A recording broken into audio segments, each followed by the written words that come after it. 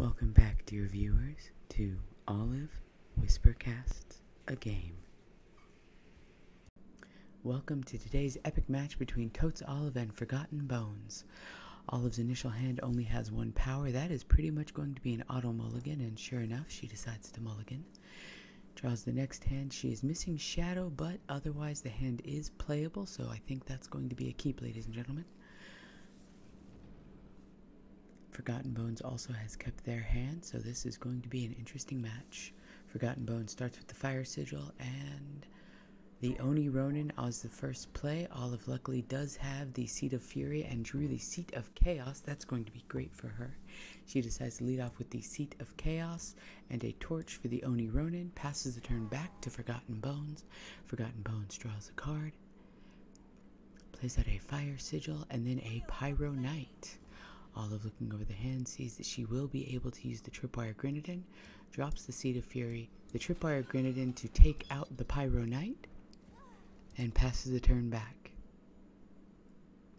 Forgotten Bones draws a card, plays a Fire Sigil. This looks like a mono fire deck, ladies and gentlemen.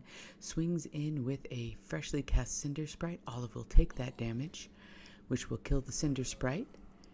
Then there's no follow up from Forgotten Bones. Olive looks over the hand and is going to go for the Seat of Fury into the Strategize, which will allow two bites at the apple for good cards.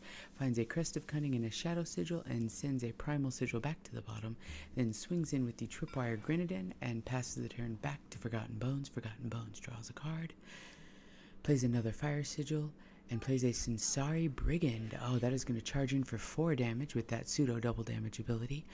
Olive, not having much to do here, goes ahead and plays the Shadow Sigil, turning on all of her colors, plays out the Kyrex Coach Driver, and decides to leave the Tripwire Grenadin back on blocking duty and passes the turn back. Forgotten Bones draws two cards due to the Nightfall trigger and takes one damage. Goes into the tank, plays out a Fire Sigil,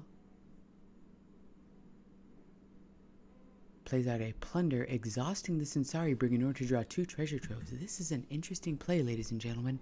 Plunder is not a card we see very often. The follow-up being to use one of the treasure troves, draw a card, then play out a Grenadin Drone. Olive draws the Devour and a Fire Sigil, not the best in the world. Goes ahead and starts with the... Nope. Initially thinks of the Quarry, but then goes with the Strategize. Strategize pulls a Tripwire Grenadin that will be deadly as well as a Dark Return. That was a great decision on her part. She will put back the Fire Sigil, followed up by playing the Tripwire Grenadin, killing the Sensari Brigand with the deadly effect, and then going ahead and using the Crest of Cunning to scout the top, sees a combust, keeps a combust, and swings in with a Tripwire Grenadin. If Forgotten Bones decides to double block, they will lose both their Grenadin. They decide not to, and Olive passes the turn back. Forgotten Bones draws a card. Plays out another fresh Cinder Sprite, swings it in.